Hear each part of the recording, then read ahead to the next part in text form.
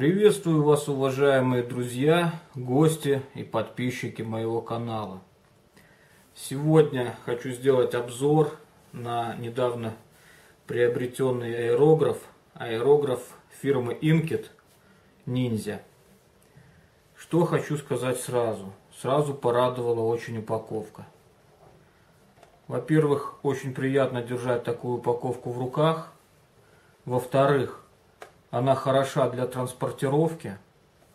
Ну а в-третьих, даже приятно подарить, сделать кому-то подарок в виде данного аэрографа, имея вот такую вот хорошую, приятную упаковочку. Ну, сейчас откроем и посмотрим, что нас ждет внутри. Так хорошо проложено поролоном, чтобы не царапалось. Ну, а внутри нас ждет сам Inkit Ninja. Да, многие скажут, что очень похож на джаз 1117. Как бы общие сходства есть, но сразу хочу заметить и уточнить, что Инкет сразу визуально чувствуется, что он легче, чем джаз. Это уже хорошо, что рука не будет сильно уставать. Заказал такой колпачок, так как диффузор или коронка, как многие называют, здесь не цельная, то рекомендую сразу взять колпачочек, чтобы защитить иглу, и сам диффузор. Стоит недорого, но очень приятный девайс. Сразу подержав в руках, приятное ощущение, хорошо ложится в руку, хорошо работает, крышка плотно закрывается. Сняв крышку, он еще легче становится. Очень хорошо работает плавно и курок, и игла движется. Регулировка шага хода иглы мягкая тоже очень. Это хорошо. Когда рисуем пишем тонкие линии то точная подстройка иглы незаменимая вещь в нашем деле аэрографии. Регулятор давления воздуха. Многие спрашивают нужен он на аэрографе? Не нужен попользовавшись многими аэрографами, но я пользовался только джасами, я заметил, что вещь необходимая и нужная. Опять же, не всегда удобно подтянуться, когда красишь компрессору, чтобы отрегулировать давление.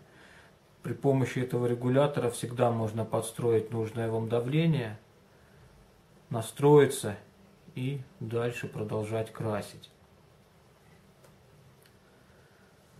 Что еще замечательного и примечательного в этом аэрографе? Здесь тефлоновые прокладки. Многие сталкивались с джасами. У джасов, если джаз помыть ядреным растворителем, очень быстро вылетали резиновые прокладки, и их необходимо было менять.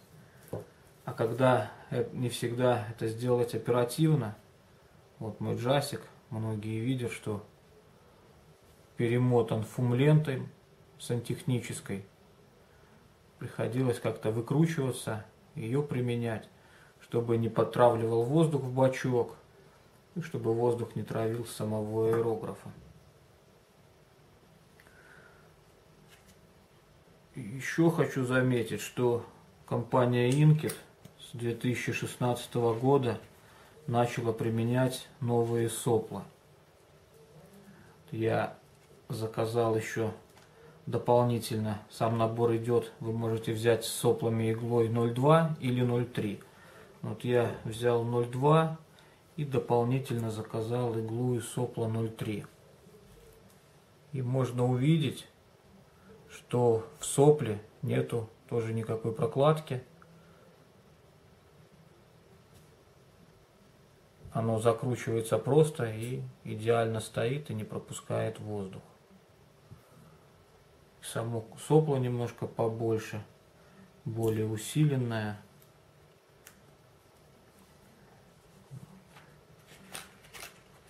Обратил внимание, что иглы как-то у джасов, мне кажется, что игла немножко помягче и немножко потоньше. Здесь сама игла даже по жесткости отличается. У меня у джасов несколько игл уже новые были, но немножко с изгибом заметно были. А здесь все ровно, хорошо и более тверже сталь, наверное, используется. Острая, хорошая заточка.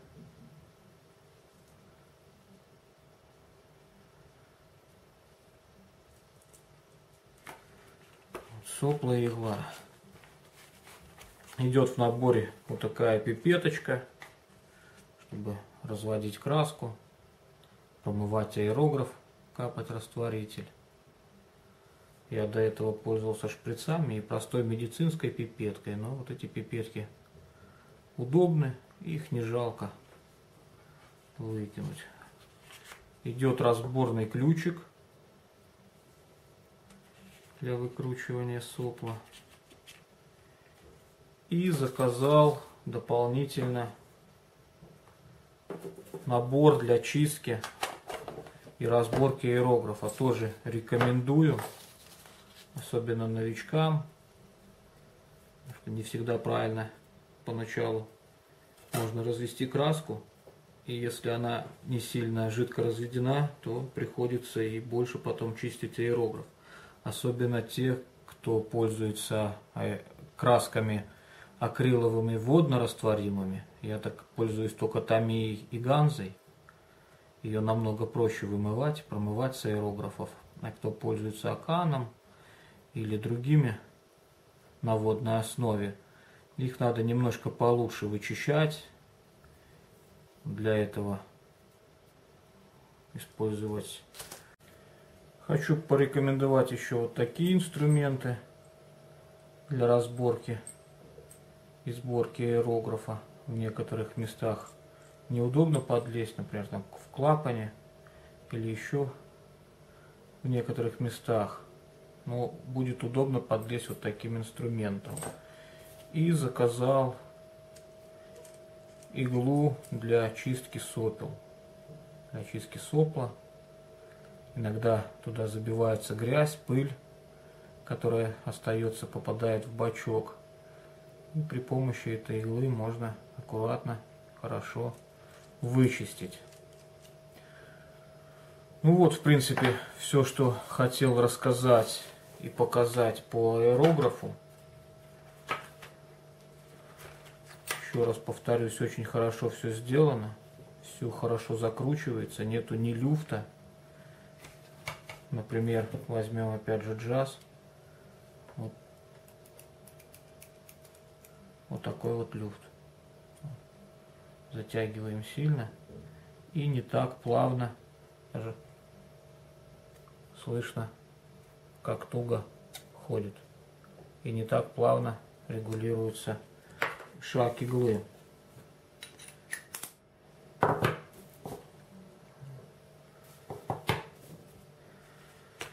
Ну, а сейчас протестируем его и попробуем покрасить, нанести тонкие линии.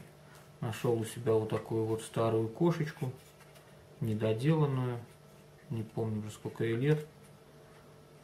Увидел как-то у кого-то собранную, ее продавали, решил купить, а ее прислали в простом целлофановом пакете. И она приехала вот в таком состоянии. Хотел с нее что-нибудь сделать, но как раз будет как кошка для тренировок. Химии новой и краски. Сейчас подготовлюсь и продолжим испытывать аэрограф. Развел краску, как всегда, 1 к 5, 1 к 4. Сделал поменьше подачу иглы и посмотрим.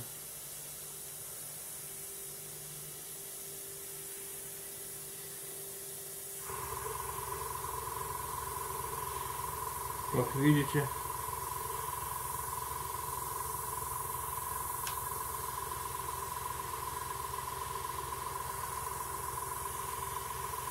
добавим немножко подачу.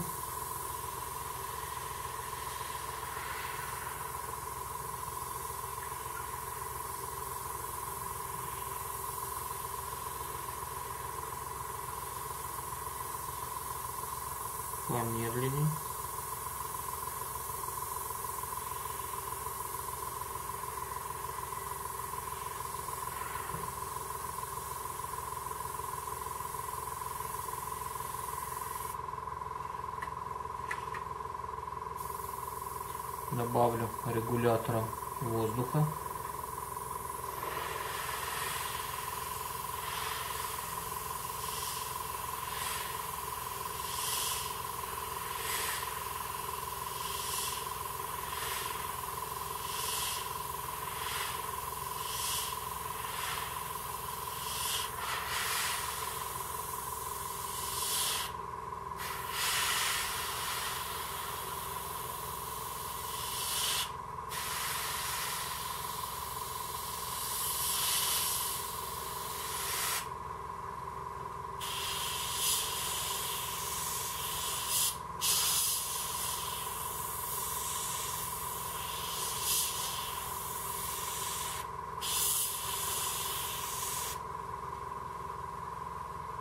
Откроем немножко побольше.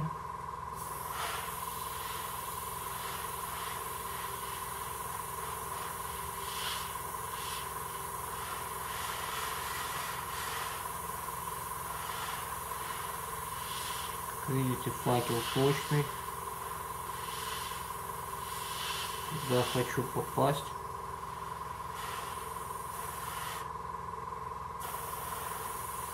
Туда и попадаю.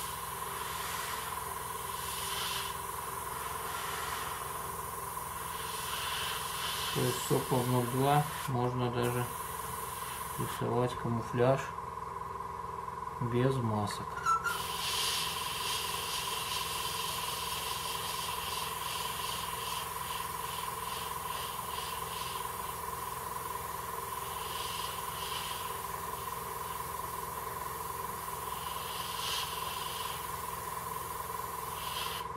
Попробуем на больший.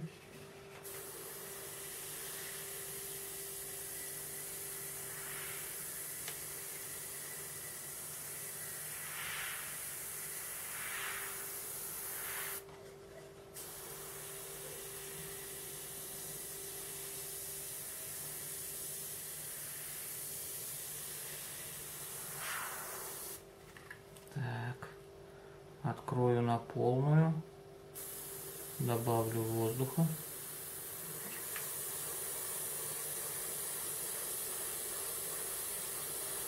Вот. Сейчас закрываю такую поверхность.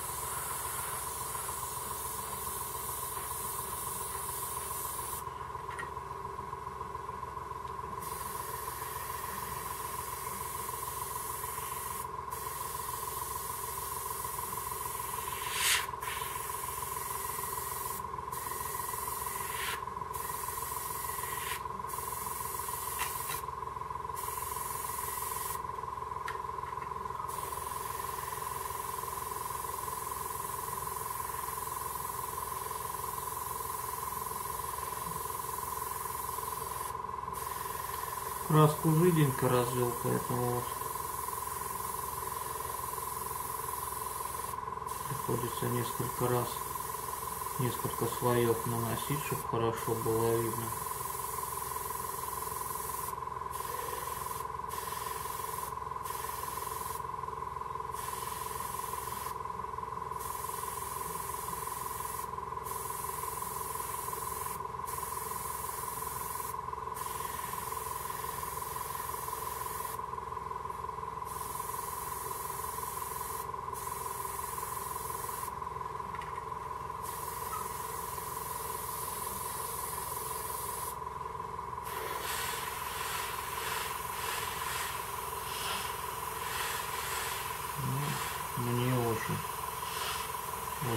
Нравится с ним работать. Многие скажут, что и джасом можно. Можно. Но со временем проблемы с прокладками дадут себя знать. И все-таки, мне кажется, здесь поток и само пламя, факел краски более точно попадает на поверхность.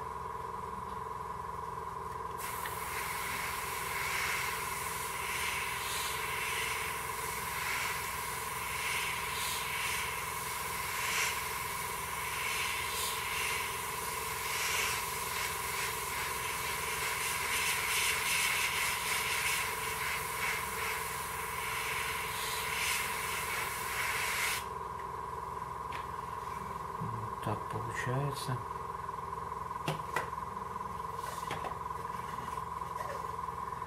Сейчас попробуем борта расписать.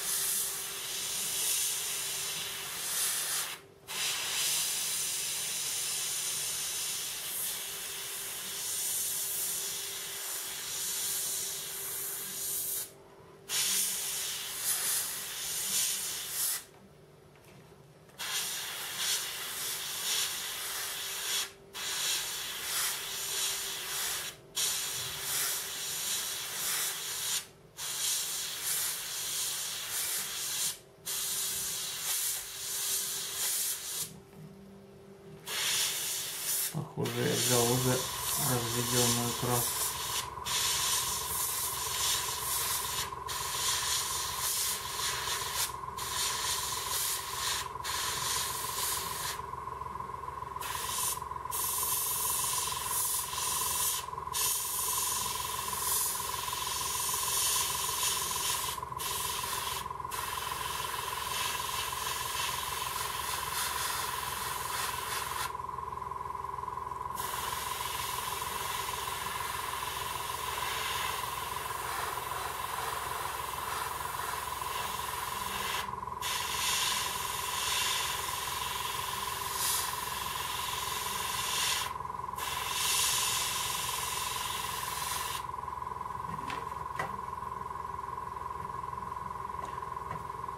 Целом доволен. Хорошо делает и тонкие линии.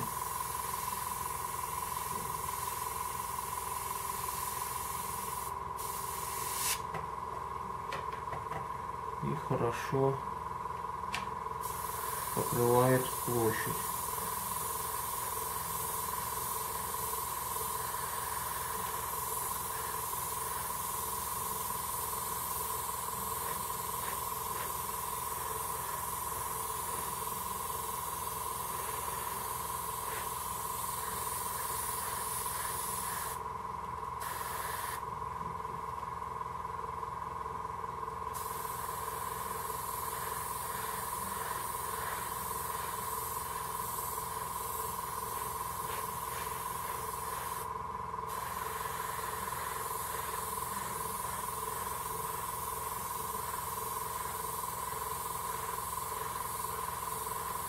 Дернул немножко аэрографом, получилась капелька.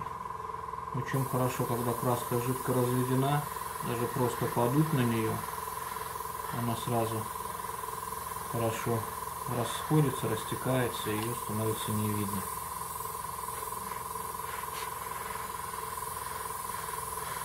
А если краска плохо разведена, и у вас аэрограф нечаянно плюнет на модель, то останется пятнышко, которое будет тяжело потом скрыть. А тут, как видите, все хорошо и незаметно. Я сейчас его по-разному тестирую. Вот так. И сейчас задую. Вот. Давайте еще. Делаем такие потеки. И сейчас задуваем. Как я говорю, лучше не спешить. Лучше проходить модель несколько раз, несколько слоев наносить, чем одним. Но зато всякие шалости аэрографа можно всегда убрать. Так.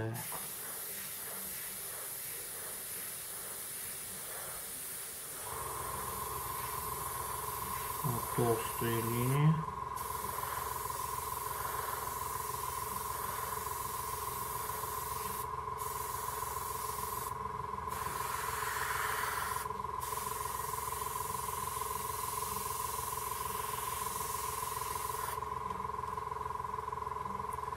Когда хотите делать тонкую линию, отрегулировали аэрограф, иглу выставили, на какую вам надо подачу. Вот, например, сейчас я ее закрутил, немножко отпускаем. Вот, тонкая. Сделали тонко. И все, и у вас уже аэрограф не клюнет.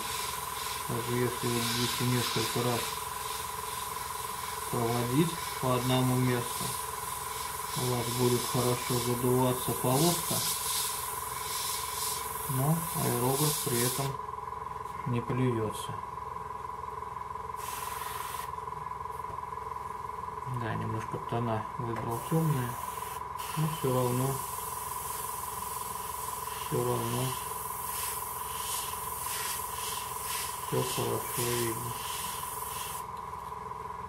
Так, немножечко добавлю еще.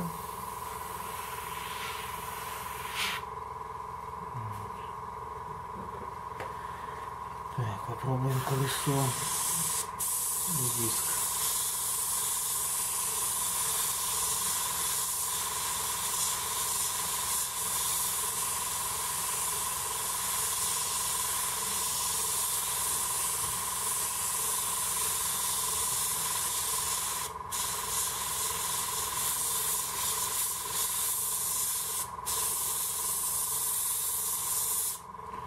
Как видите, аэрограф превзошел все ожидания. Я очень рад данному приобретению.